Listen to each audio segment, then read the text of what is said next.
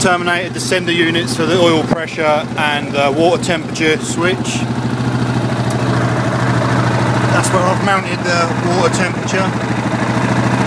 Tapped into the hose there. Two Jubilee clamps. And I've just rewired the wires back to the wiring unit under there. Just slowly climbing up.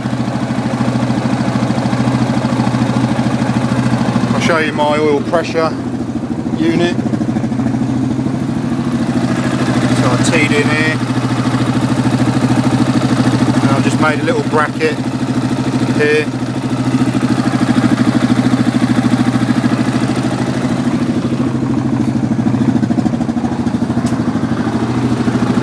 Water's going up slowly.